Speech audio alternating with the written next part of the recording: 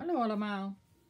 Ik heb deze kerstdagen gebruikt om iets nieuws te gaan doen. En dat was pagina's maken in mijn art journal. Dat heb ik nog nooit gedaan.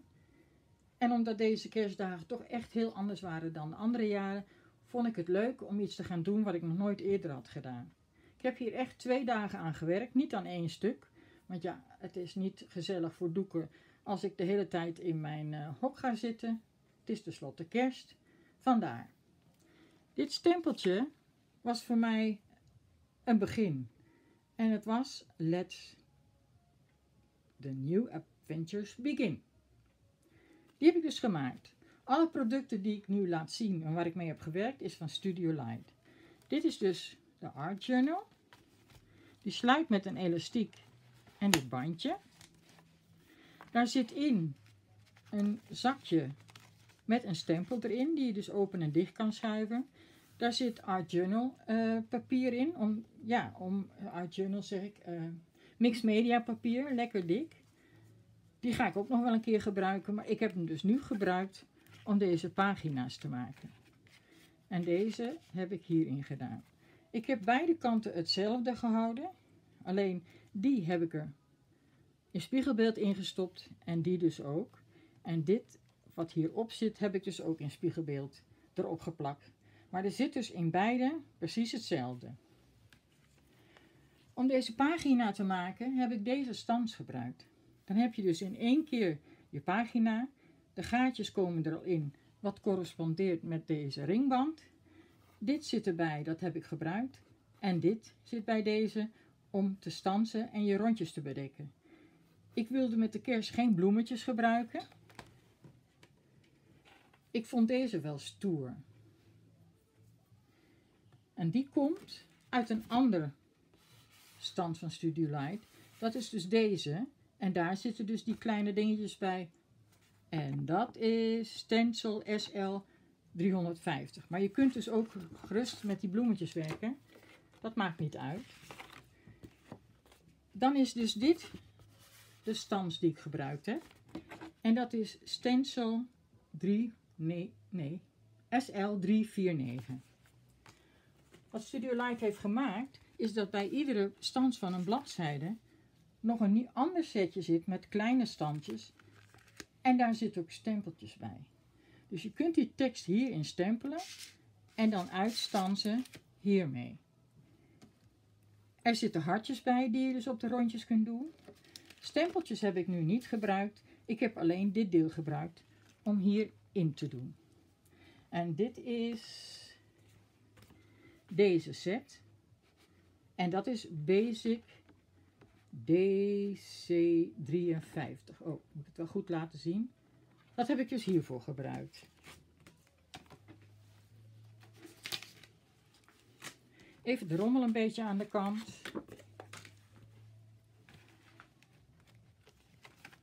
Dat is dus mijn eerste. Ik heb in totaal, maar dat laat ik zo meteen zien, drie keer deze stans uitgestanst. En deze heb ik ook gebruikt, dat zal ik jullie ook zo laten zien. Dus dit zijn de eerste twee uh, standjes. Of kleine flapjes. Dat is dus dit. Dat heb ik een keer uitgestanst in dit lichte kleurtje. Daarna nog een keer helemaal uitgestanst met het scrappapier met de kerstboompjes. En hier heb ik met dit stansje wat erbij zit, dit gedeelte gestanst en hem in groen nog een keer gestanst. En daar heb ik dus een stukje weggesneden, erop geplakt en toen van de achterkant weer de gaatjes maken. Want die had ik dus nu niet, doordat ik het had afgesneden. Maar het gaat dus heel goed. Dit zijn plaatjes. Dit was een stansje die ik nog had. Dan draai ik hem om. Dan heb ik hiervoor een labeltje gemaakt. En dit is een ander stansje. Daar heb ik dus een uh, banner van gemaakt. Die ik dus daar en daar heb vastgeplakt. Zodat ik er een labeltje tussen kon schuiven. En dat is dit labeltje geworden. Ik zal even zeggen waar ik de plaatjes uit heb. Dit is een scrapvel die ik heb gebruikt. Waar een heleboel plaatjes op zitten. Wat je kunt uitknippen. En dat is Scrap As 105. Daarnaast had ik nog een box over die ik al had gebruikt.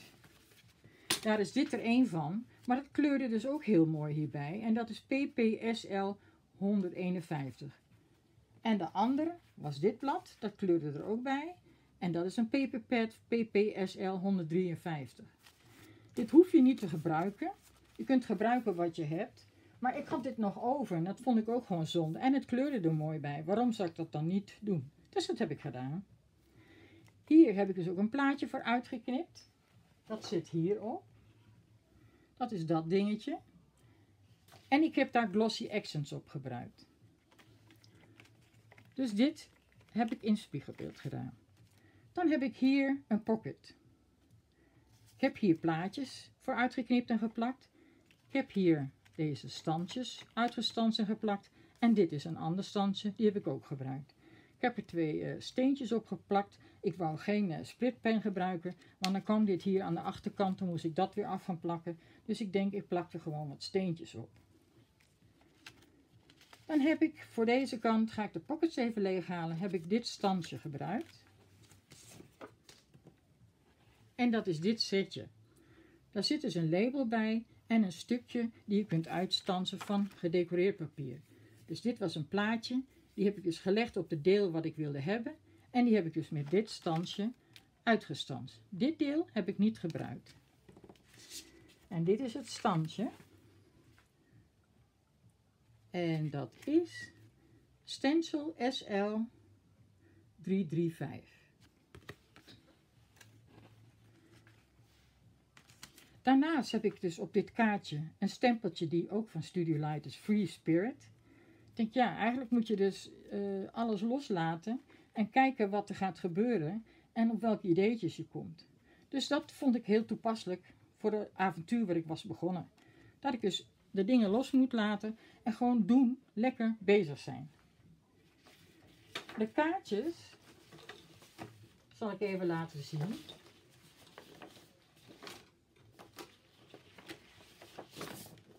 Als ik het kan vinden met deze berg. Dat is dit scrapvel. Daar zitten dus allemaal kaartjes op die je dus kan uitsnijden. En dat is Scrappers 104. Om dit, dus dat zijn deze plaatjes die ik heb uitgesneden en met een afrondpons heb afgerond. Het deel wat ik nu laat zien is een dubbel kaartje. Hij wil niet, ik heb droge vingers. Die heb ik dus hiervan aan elkaar uitgesneden. Ietsjes op maat gemaakt, want anders werd hij te lang en kwam hij te ver hier overheen en dat wilde ik niet. Dus dat zijn die twee aan elkaar. Zo kun je dus ook dit vel gebruiken. Deze twee heb ik dus gebruikt, iets kleiner gesneden, waar ik die teksten in heb gestempeld. Dus dat is dit. Dit had ik laten zien en daarop had ik dit gemaakt. Wat ik aan het begin had laten zien, dat moest dus zo in mijn pocket. Dan heb ik hier nog een stapeltje. Ik heb een klein labeltje gebruikt waar ik een plaatje heb opgeplakt. Een ander labeltje waar ik de kerstboom had opgeplakt. Ik vond, omdat het kerst was, dat er een kerstboom moest komen. En deze vond ik wel mooi. En dit is ook zo'n kaartje van wat ik net liet zien. Daar heb ik Good Things Take Time. Dus ik moest van mezelf niet verwachten dat het gelijk uh, heel erg mooi was of wat dan ook. Ik moest gewoon de tijd nemen en het de tijd geven. En dat heb ik gedaan. Dit heb ik dus drie keer uitgestanst met deze stans.